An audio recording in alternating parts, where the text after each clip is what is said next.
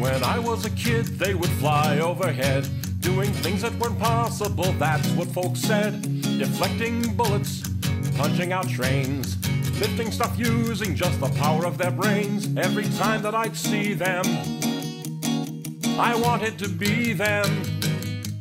And I dreamed each night about all the things I'd do. What if I were a superhero with a cape and a mask? Give me some kind of powers and give me a task. Give me one little chance and that's all that I'd ask. And I promise I'd stand tall.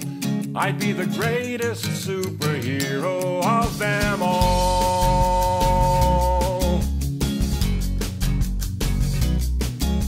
When I was a kid, I watched them all on the news. And I swore that I'd be one if they let me choose. If I didn't have powers, I'd strengthen my mind. I'd look within myself and see what I'd find. Every time that I see them, I wanted to be them. And I trained each night for all the things I do. What if, I were a superhero, I'll give villains a fright. with my cape and my gadgets and my signal light, Give me one little chance and I'll fight for what's right. And I'll never let you down. I'd be the greatest superhero in this town. Some people say we're psychotic, breaking laws that we claim to uphold. But really, the costume's symbolic, and all that we're breaking's the mold. The bad guys like gaming the system. With legal details they dance. Our first job is justice. We don't ask that you trust us. Just give us that one little chance. When I was a kid, I would see people try just to work till they drop and not stop till they die. And I promised I'd make the world better someday. I swore I'd restore the American way every time that I'd see them. I promised I'd free them. And I think of them with everything I do. Every one of us saw. There's so much more to do than upholding the law. Give yourself just one chance and you'll leave us in awe. Cause we know that you'll stand tall. Inside every one of us is the greatest superhero of them all.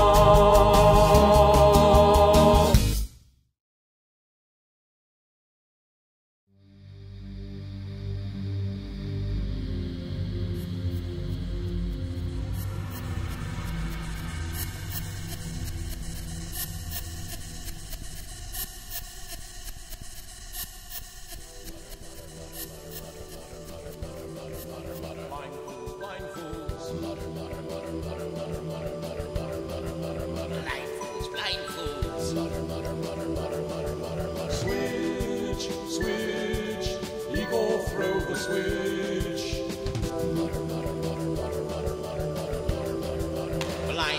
Silence!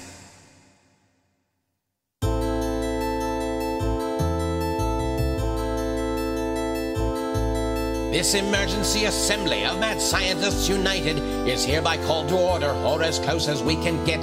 The first, last, and only item on today's agenda is how come we haven't killed the bloody superheroes yet? Well, it isn't very easy given that they're superheroes. They're invulnerable. or armor, or they're awful bloody fast, or they're awful bloody smart. Or they're awful bloody lucky. How about awful bloody dead? Is that so very much to ask? Well, we don't work together very well. We don't call each other on the phone. Inspiration takes hold, and if the truth be told, we each want to get the glory on our own. I've been working on a death trap that'll shred them in their skivvies. I've built a giant laser that'll fry them where they stand. I'll construct a transmutation gun to turn them into privies. I've got a hundred foot clawed hero smashing robot hand. I've got a mind control device so strong they Cheney curtsy. I've got a giant vacuum that will suck away their breath.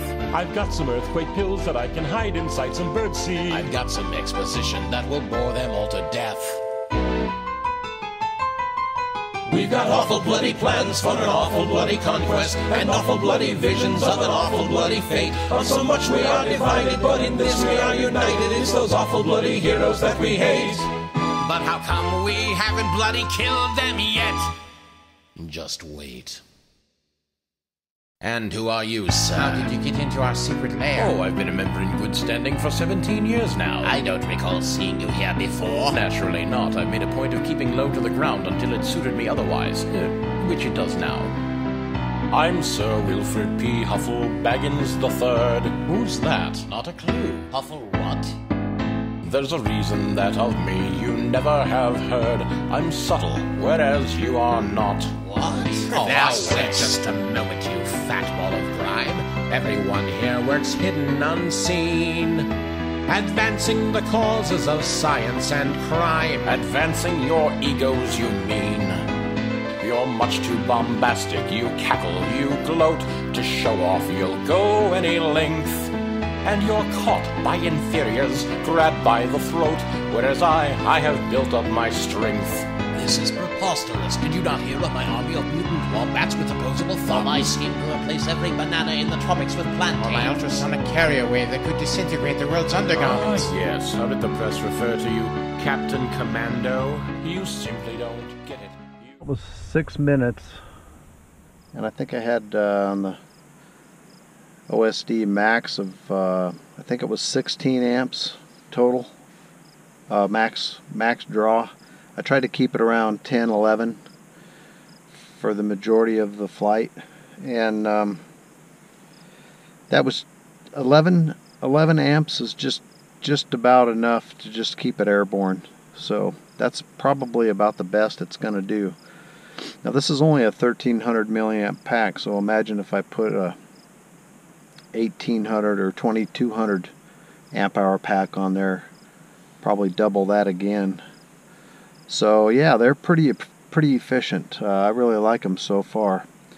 I'm also wondering if I put uh, like maybe a 5S, bump it up one cell, go to a 5S. They might be the the max efficiency at that power level. So I'll just have to spare, experiment with them and see what happens. I can't wait to get it up out in the mountains or somewhere where I can just fly the thing. I also need to work on this antenna.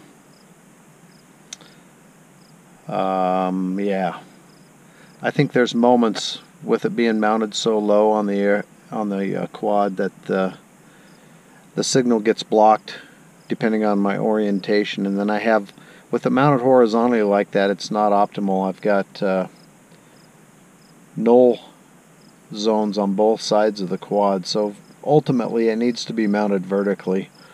So I've got a few ideas about coming up with an antenna so I can mount a vertical antenna and hopefully uh, resolve some of those issues with a low RSSI or low signal strength depending on the orientation. I really uh, pretty leery about taking it out any significant distance or over terrain that be almost impossible to recover it if it goes down because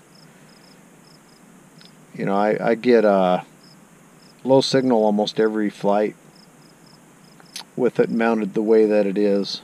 If I'm going directly away or coming directly toward me and I'm not too high in elevation, it seems to do okay. But if I get up there a little higher as I'm coming back toward me, the frame and the front arms and so forth get in the way of that antenna signal. So it's just definitely not an ideal location. Anyway, I'll uh, I'll come up with an idea and make a video about it and, and show you the results of that here the in the next future. I may go home today and start working on on designing a vertical dipole antenna mount or maybe a way to mount the uh, the Immortal T that I have on here in a vertical position. Anyway, thanks for watching guys. Hope you enjoyed it.